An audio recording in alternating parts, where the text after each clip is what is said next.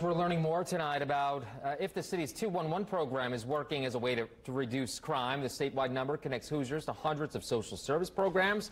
I-Team 8's Richard Essex asked the mayor about that program today. Richard. Well, the 211 program is supposed to get people to call that number instead of 911. Now, the question I put to the mayor is that system working?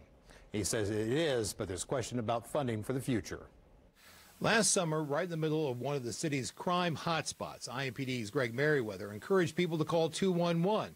That is a number typically reserved for people in need of community assistance instead of calling 911.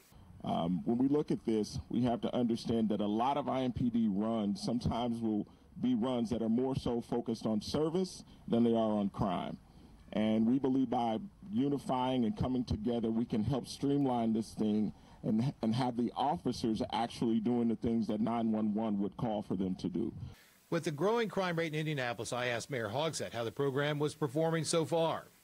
Well, I think uh, it, has been working uh, well, but uh, frankly, the funding for that is in process of changing, and so uh, the future will be determined by how we can adequately fund that uh, in the absence of previous funders. Indiana lawmakers are considering changes on how the system is funded, how it is used for state referrals, and how agencies interact with the system. Today is February 11th, or 211 Day, and the 211 system is a private not for profit that provides free, unbiased, and confidential referrals.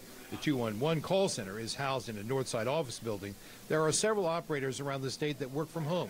Catherine McNaughton is the interim state director. You're looking for a homeless shelter, you're looking for assistance in paying your rent, or maybe in the cooler weather, you're looking for assistance to pay for your electric or gas bill when you've been able to cover your rent.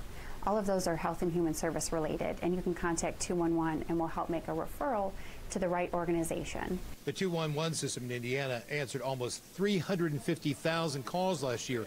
Utilities, housing, and food are the top three needs for help number of calls to the 211 system is supposed to drive down the number of calls to the 911 system and give police an opportunity to answer emergency calls and not social service calls.